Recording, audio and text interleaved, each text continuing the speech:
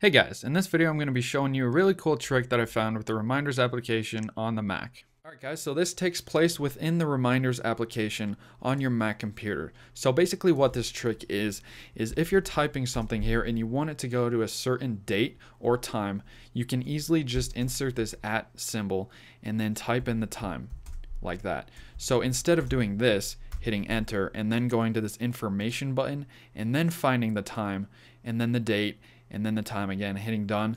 All you have to do is type in something and then we can do like April 10th and then you have to do at 8 p.m. So it automatically creates it like that. So that is a really simple tip and trick for the reminders application on your Mac computer. As of right now, this does not work within the iCloud um, web application that Apple has on iCloud.com, and this also does not work on any iOS device as far as I'm concerned. We may see this functionality in the future, but for right now, guys, that is just a tip and trick for your Mac computer. I hope you guys enjoyed, and I'll see you guys in the next video. Thanks for watching.